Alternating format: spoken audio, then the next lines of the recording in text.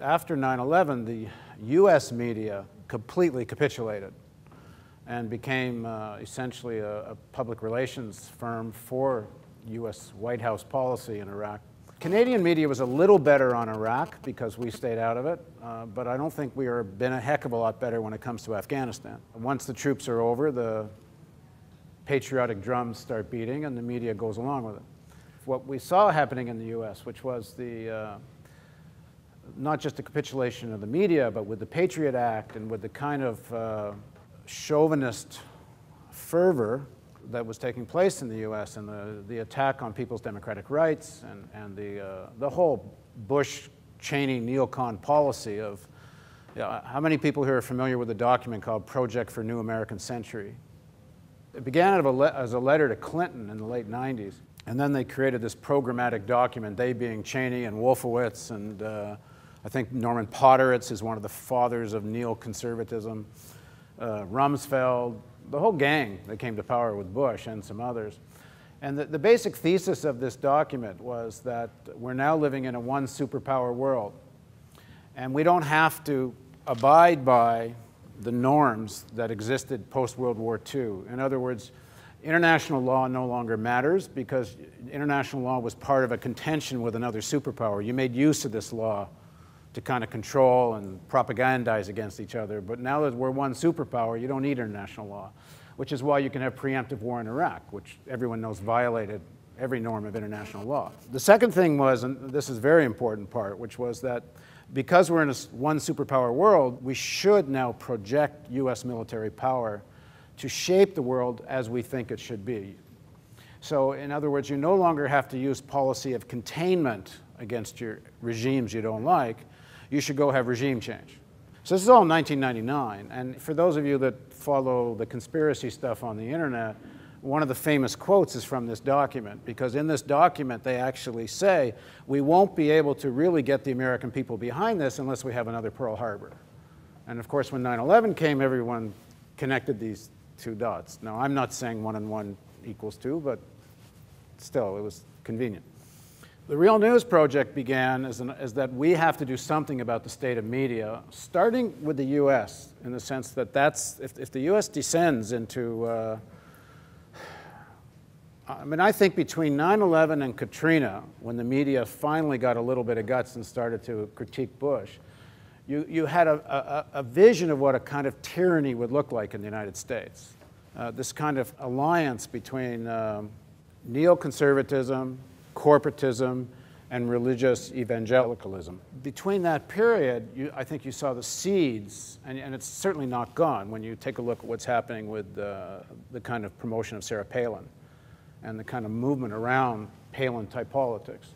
So the Real News Project said, well, look, if you look at what's really at the heart of what's wrong with, with mainstream news, it's, it's two basic things. Number one, the way the economics of news is based on, first of all, advertising, profit motive, uh, the, the problem of monopoly ownership of media. It creates an agenda. So we, want, we said with the internet, there's now the possibility of changing the economics of television news. That if millions, of, if you could fund a news network the way Obama funded much of his election campaign, you could have a global independent news network. And the finish is number two, which is the biggest deception, I think, of mainstream news, and this goes for television and newspapers, but the number one at the very heart of the deception or the mythology is they report as if we don't live in a class society. I think it's absolutely the heart of the problem. Everyone knows we do. Every reporter knows we do. Everyone they report on knows we do. In fact, when Obama ran his campaign, it was all about we're for the middle class. How can you have the middle class if you don't have some other classes? They don't talk about them. And the same thing happens in Canada. You know, during election times, uh, you hear all kinds of talk about the middle class. But if you have a middle class, you also have an elite. You know, however you want to describe that elite, you have to have one or you don't have the middle. And everyone that does news knows that every story you approach, you have to decide where's your starting point, who's your audience, who you speak to. And the people who are most honest about this are people that report for the business press. to some extent the National Post, a little bit the Globe and Mail, but even more honest are, say, Wall Street Journal or some of the more other financial papers. What's honest about them is they know their audience are, are, are is, a very, uh, is, a, is a section of the elite that has the most capital. And they write for them, and they try to write it more or less as realistically as they can for them. But there's no independent journalism who says straightforwardly, we're not going to report or side with or be appendage of one section of the elite or the other. Because what, what's called diversity opinion here is diversity of opinion amongst the elite, because there are very competing interests amongst the elite. But if you try to say, okay, well, we want to represent what's in the interest of workers, well, then you're marginalized, you're utopian, you're naive, you're, you're lefty, you're this or you're that. So the real news says unabashedly, we're not an appendage of any section of the elite. And there's a wonderful quote from George Will uh, in the American elections, which uh, if people that watch the real news know I, I quote this over and over again, and, and I probably will until this isn't true. The Sunday morning on the George Stephanopoulos show, uh, they're, they're having a debate during the election campaign, and Donna Brazile is saying that McCain has seven houses. And they're going on and on about how could, why should people support McCain when he has seven houses? And George Will, if people don't know, he's a right wing, uh, very well known right wing columnist. And then he said he's getting angry, he's getting redder and redder in the face. And he, then he finally he loses it. And he says, look, everyone that's run for president in the United States is essentially from the American aristocracy. The actual quote is he says, let's not get sentimental about all of this. What you get to, to decide in elections is not whether the elite's going to rule, but which section of the elite's going to rule. Now, he says this on, you know, he would never say it if he wasn't so angry at Donna Brazile, because they don't usually talk so honestly about, about this. What we don't have is a, is a news organization that can do daily television news that's not an appendage representative of one section of the elite or the other. And that's what we're trying to do. I guess I was a little blown away by the professionalism of this news and how I but I've never heard of it before. I, if I had known, I'd be watching this every morning as getting my news instead of going to Fark.com because that's the best I can do to get you know, an unbiased look at what's going on in the world. So I, I just kind of want to know what are you doing to spread the news? Clearly not enough. We're still really small and not nearly yet financed at the level we need to be. In the short term, we're creating a group of volunteers. We're up to, I think, about 40, but we want to get it to like four or 500 who every morning will go blog about us, get onto websites, post our videos, make use of all the social media to start making a lot more noise. The other major thing we're doing is we're making a big push to try to get on television this year. The thing is, for ordinary people right now, it's still more about television, especially when it comes to video, and partly because of how lousy so much of the broadband still is. You, you need a good speed to watch at what feels like a TV experience. And then the other thing is we need more, you know, we need help. We need people to, to let people know. We're doing daily news in the sense that we do a news story every day since the spring of 2007. So we've done, I think we're up to about 4,500 stories now. We're, we want that to flesh out into a full 24 7 network. What you said about the, the presidency in the United States and how they all come from a, an elitist area really hit home with me. Um, I guess my question is, uh, where, what section of that do you see Obama representing, and, and what section of that do we need to be supporting in order to push a more left-wing, uh, you know, ideals? That's the question, really. I mean, in terms of working people, that is the question. Um, if you go back to that quote from George Will, what you do is you get a choice between these two sections of the elites. It's really a question for the unions. I'm firmly of the belief that the only possibility of a people's movement in North America is going to come out of unions. It's not coming out of anywhere else. It's not come out of a peace movement, and uh, it's not, you know, civil rights movement had a lot of heat behind it, but it, it had modest, modest objectives. It kind of achieved some of them, but it's not going to create this, this kind of change that people want. It's going to, it's going to be a come out of the unions, which means it's going to have to be a big fight in the unions almost all of the union's participation in politics in Canada and the US is simply to be an appendage of one section of the elite or another. so you've raised the question of how do you have uh, independent people's politics, working class politics, and participate in elite politics, because you actually have to do both. Because right now there is no party that you could say really represents working people that has a chance of winning right now. And you can't ignore that right now. There's some things that you need to do. At least what we have to do now is journalists, because that's what I can speak about. And I, but I think it's the same thing for you as activists and trade unions. Make sure that people don't have illusions when you say, okay, maybe Obama is better than Bush, but don't have any illusion that Obama is a, is a creation of Wall Street, because he is. I mean, everybody that studies where Obama money came from, it's no surprise that he's did what he did in terms of the financial bail, bailout. He's been uh, mostly a, a, a, manufactured personality uh, by Wall Street money from the beginning. Now, this isn't to say he isn't significantly better and different than the Bush guys because he's rational so far. Or the other guys, I really, I, I don't think we should discount the psychological piece of this. These other guys are sociopaths. And this, they will turn into the kind of, some form of a kind of neo-fascism if they ever have a chance to.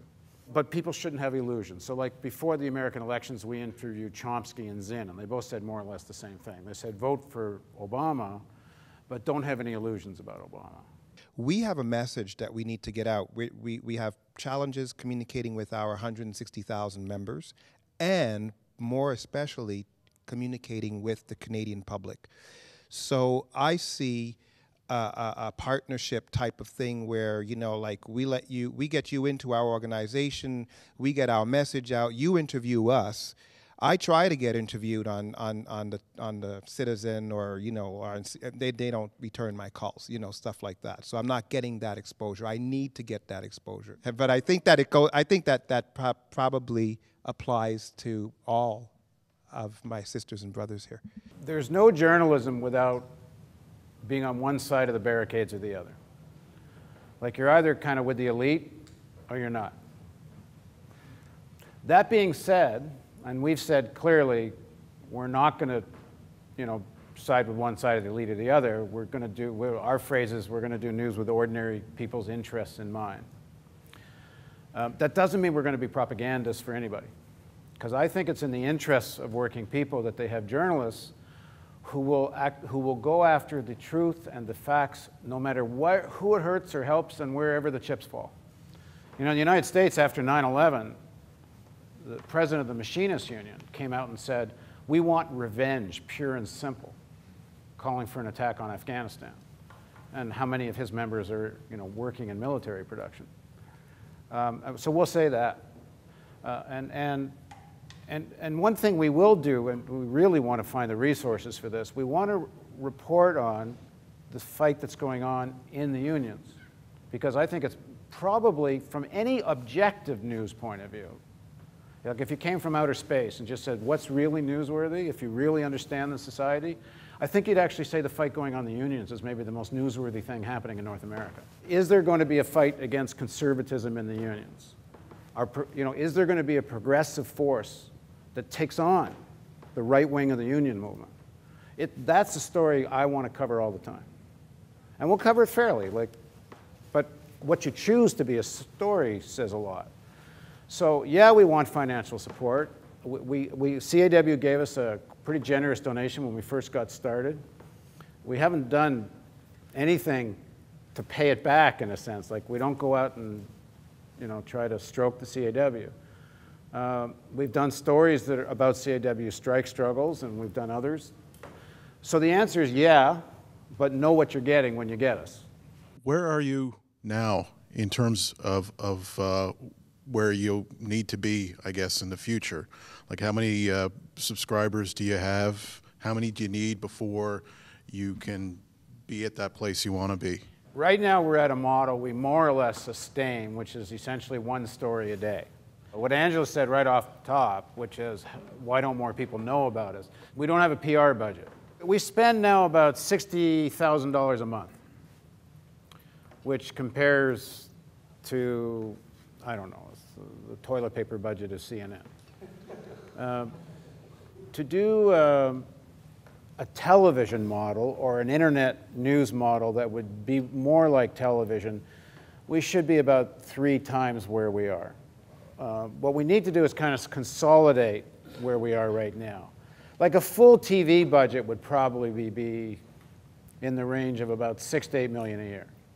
And that would, we could do a 24-7, modest 24-7 uh, show with that. We, we just negotiated a deal with Al Jazeera. We think we can do something similar with some of the others, ones like France 24. There's, to get some international coverage, we can make deals which for practically for free. What we want to do is we want to have a flagship debate show, like we used to have with Counterspin. We want to have a flagship news show. Our budget's about 60,000 a month. We raise about 20,000 of that through small donors, 5, 10, $20 donors. So it's like 20 grand a month. So 40 grand a month is coming from bigger donors. And it's kind of, mostly it's people that just found us over the internet. Like there's one guy who, who inherited some money and he didn't want to touch it because he's quite progressive politically, so he figured he should earn his own living, and he didn't know what to do with what he inherited. So he started giving it away to things he liked, so he gives us a chunk of money. So there's little bits and things we scramble around for. To be sustainable, we need like 5,000 people at 10 bucks a month. It's not that big a number, really. That would, that would consolidate where we are now. The ideal situation is something like 250,000 people you know, if you just, just look at Canadian Union membership alone, you know, if you could get, what, 5, 6% of union members in Canada doing 10 bucks a month, we're practically sustainable just on that basis alone. The other big thing we really want to take up, and I would say the most important thing we want to deal with, other than stories like this, is we, want to, we really want to talk about, we want everybody to become economists. Everybody should understand why the economic crisis is happening. And we want to try to answer two questions. Why is this happening to me? And what can I do about it? People need to understand what the shenanigans on Wall Street are. But I think the most important thing people have to understand is, and of course this is a debate, and we will also express the debate, but my opinion after talking to many, many economists, the root of all of this is low wages. I mean, it's just this enormous transfer of wealth. Uh, you don't have real purchasing power in the society, and you can stimulate all you want, and you can, and you financially regulate and everything else. But if they don't, if the issue of, like this is what's wrong with how they, I think how they're waging the strike in uh, Sudbury. This goes back to how do people in unions communicate better to the media. Unions need to, I think, vigorously fight that the solution to the economic crisis is higher wages. Because in fact, what's happening now, like when you go talk to community people in, in Sudbury, or we've done stories from Windsor and Detroit, from non-unionized workers, the resentment against unionized workers. How much you hear, you guys are paid too much. You're causing the problem. You're making us uncompetitive with workers in other parts of the world. You, what's wrong with, what do you need a nickel bonus for? You're making 25 bucks an hour. I mean, the resentment and people, people just, and, and when you hear e economics debated and talked about in mainstream television or media or anywhere, you know, it's all from the point of view of investors. So of course, low wages is, is good, and they never even, they never even discuss the issue of wages. But forget any morality of it. If you actually wanted to solve the economic crisis, I mean, other than taxing wealth, the real ongoing sustainable model is people have to get paid properly and then some. I mean, you can go further than that, but that's the starting point. I don't think unions themselves have a good enough handle on why the crisis is taking place and what the solutions are. And they, and they this, I, I hear so much empty moral, moralistic rhetoric, generally coming from unions, coming from the strike. You know, you know they're, they're bad people. The guy, Vale are bad. It doesn't wash unless you know, you're already a union supporter. Okay, so they're bad. Who cares? I mean, everybody knows. I mean, everyone says to themselves, well, if I owned Vale, I'd do the same thing. So then I'd be bad. Like when it becomes this moral argument, nobody, it doesn't persuade anybody anything. And the unions rely so much on the, you know, we're good guys and they're bad guys. And we have to explain the economic crisis. We, people have to really understand why this recession's taking place. And, and people have to use this language because they seem, the, the unions and their, their politicians that are supposed to be affiliated with the unions, they're so timid to be kind, to use the word timid, to talk about class and talk about how deliberately aggressive these policies of keeping wages low are at the political level, never mind what happens at the company level. And if you talk the way I'm talking to say, oh, you want a wage class war, well, they are waging class war, and why don't we say so? Just they're conscious about it, and everybody else is sleepwalking. Uh, the union message needs to be have a clarity connected with reality, because when it's moralistic, everybody says it's just the same old rhetoric. Like the unions, I think, have three things they better fight on, and which we would like to report on. One is we're not going to pay for the consequences of the crisis, which involves that on the societal level issue of social spending, social security, health care, and all of that. Vis-a-vis company, we ain't taking cutbacks and so on. Number two, organizing the unemployed, which I do hear next to nothing about in union movements in both countries. They just had Labor Notes Conference, you know, which is this sort of a lefty labor news thing that comes out of Detroit and New York, and they have a conference every year. And um, American trade unionists, much like the people here. And they didn't have, they have workshops, like all day long, workshop after workshop after workshop. And I said, how many you got on organizing the unemployed? Zero. Um, and then the other big issue is organizing the unorganized. Uh, I spoke at a CAW national convention a couple, two, three years ago. And at the convention, there's a big resolution on organizing the unemployed, uh, unorganized. And I said, by, same thing, by any objective news standard, if you guys actually go out and organize you know, hundreds of thousands of unemployed workers, that would be one of the biggest stories of the year.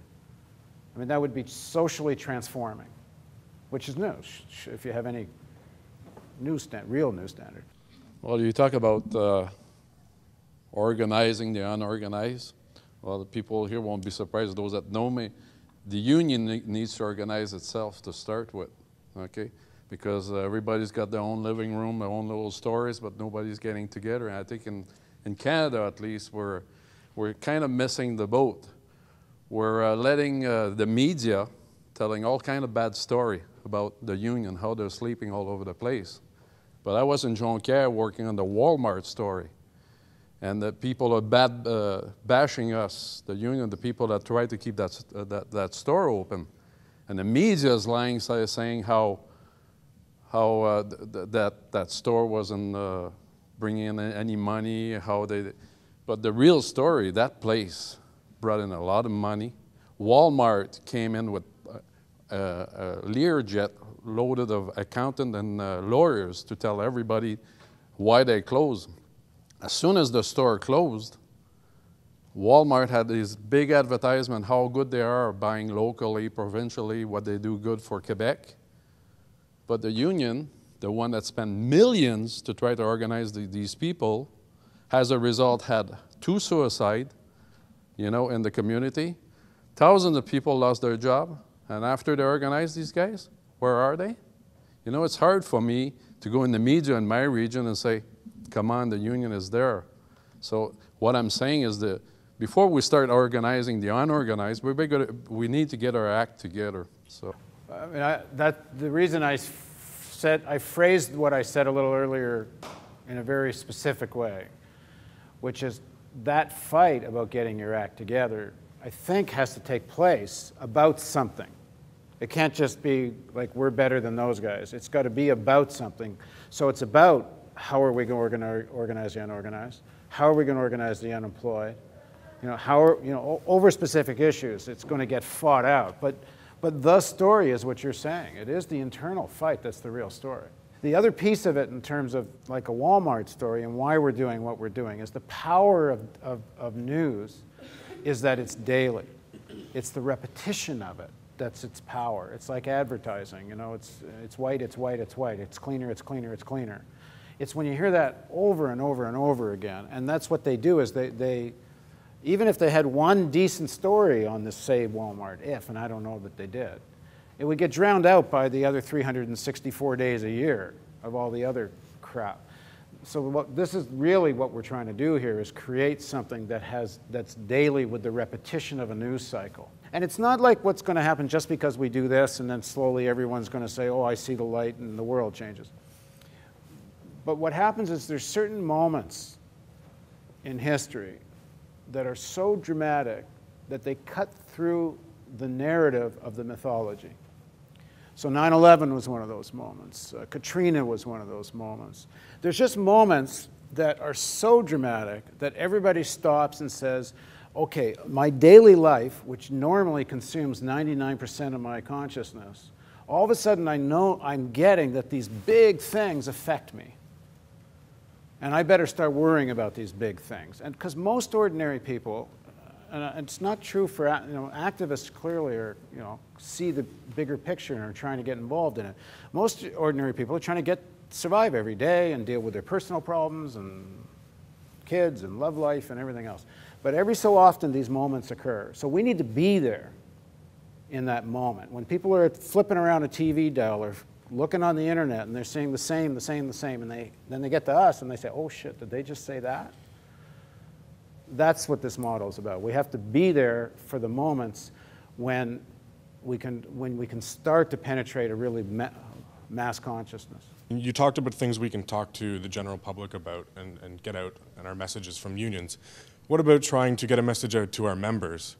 Um, because, I mean, there are unions, I think all of us are having trouble getting messages out to our, our rank and file members. Why? That's kind of the question. Well, I'm asking you, why? Because I'm not involved in it. Why are you having so much trouble? I'm not like sure. There seems to be a lot of apathy. Um, people think that someone else is going to represent them and do all the work for them and they're going to benefit. Have you asked them why they're not listening? No. Why don't you start there? I mean, ask them why they're not listening. They're, I mean, maybe the message is tired, and, but I think it's not. It's, I think it's it's about What's holding the message back is the ideological, ideologically not breaking with this impotent role the unions are playing politically. If the unions can't really see themselves as an independent force, then it holds back all the thinking. And then it becomes tired slogans when people get talked to. And people have heard say, okay, I've already heard that.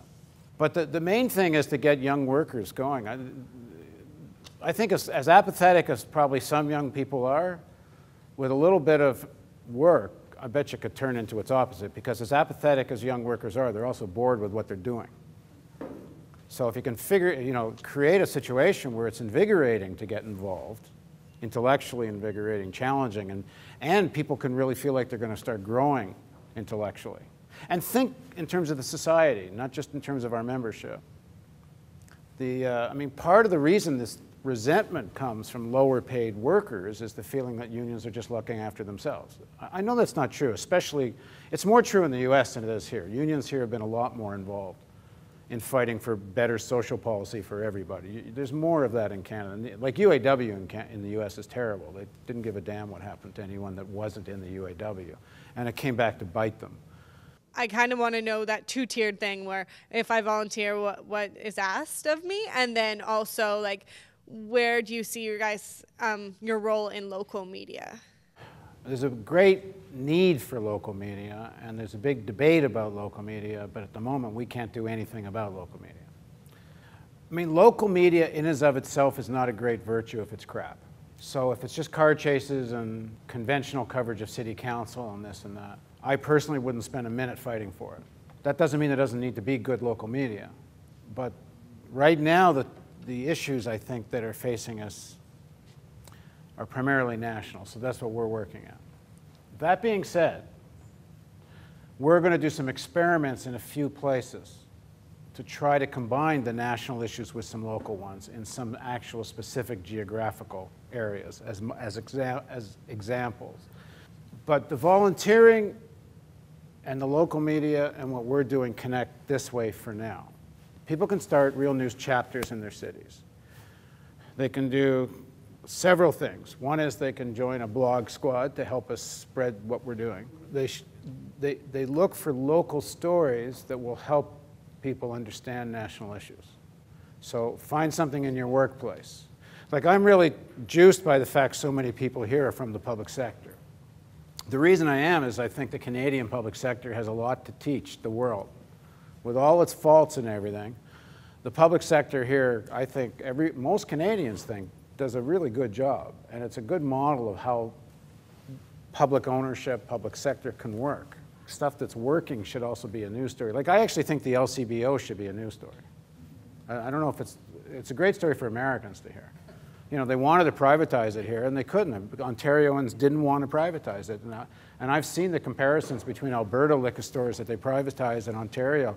And you wouldn't want to go to an Alberta liquor store. You, you get, what is it, like a third of the choice you get here. Three, if you want to go another step and you got the time, we'll train you. If you're really interested, we'll train you how to shoot, we'll train you how to edit. And you can start learning how to produce stories. The other thing we want to do, which everybody can get involved with pretty quickly, is we want to have what we're calling people's editorial committees, where you invite some friends over to watch one of our stories, and then concretely tell us what you liked, what you didn't like, and very importantly, tell us what we should do next on this story.